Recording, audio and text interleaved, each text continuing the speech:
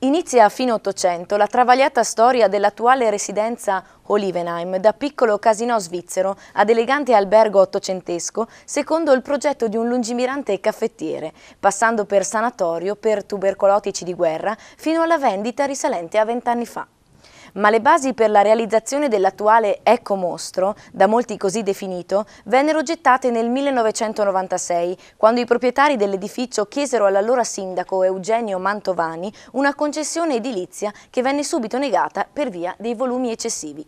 Vista la situazione, nel 2000 il nuovo piano regolatore definisce precise prescrizioni anche per l'ex Argentina, riguardanti volume, altezza, rispetto del contesto e della storia, ordinando un'impronta architettonica tale da richiamare lo stile ottocentesco.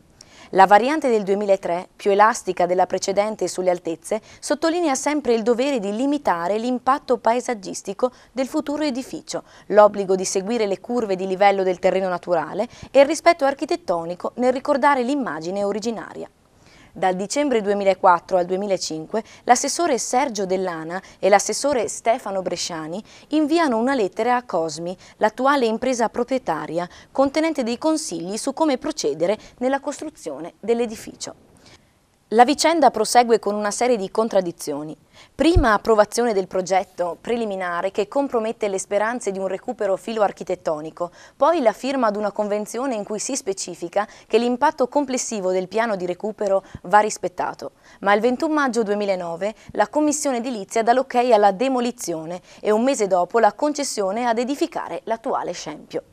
La reazione dei cittadini di Arco è immediata e nel 2013 sfocia nella denuncia dello scempio paesaggistico a nome del gruppo Salvaguardia dell'Olivaia.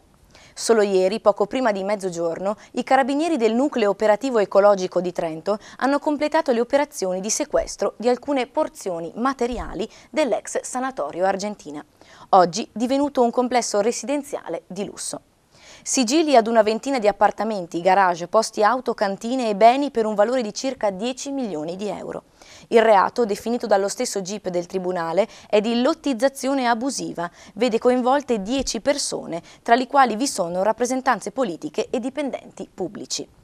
Tra i principali indagati l'imprenditore rivano Roberto Miorelli, in quanto legale rappresentante dell'impresa, e il fratello Gianluca Miorelli, all'epoca dei fatti delegato dell'allora Cosmi SPA, ma non mancano altri volti noti, l'attuale vice sindaco di Arco Stefano Bresciani, la dirigente dell'area tecnica del comune Bianca Maria Simoncelli, anche la funzionaria dell'ufficio edilizia privata Tiziana Mancabelli e due membri della commissione edilizia del 2009, Massimo Favaro e Giorgio Bellotti, i progettisti dell'impresa responsabile Bruno Ferretti e Alessio Bolgan. E infine il direttore lavori Mariano Zanon.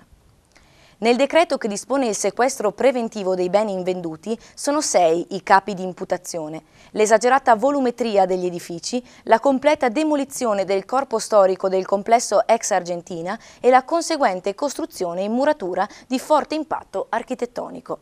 L'illecita costruzione di una parte del complesso che si trova a monte rispetto a quello principale e quindi non è rispettoso del livello naturale del terreno.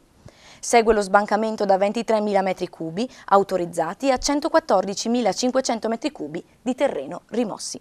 Infine, l'estirpazione di tutti gli alberi presenti senza un preventivo rilievo.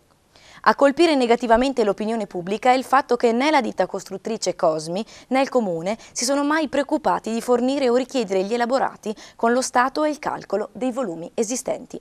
I metri cubi realizzabili erano circa 10.000, ma ne sono stati realizzati più del triplo.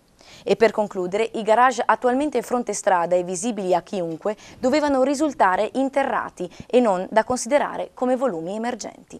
Il GIP esclude nel decreto la possibilità di una prescrizione del reato, perché il reato di lottizzazione abusiva perdura come reato permanente sino all'ultimazione delle costruzioni illegittime, concluse nel giugno del 2013.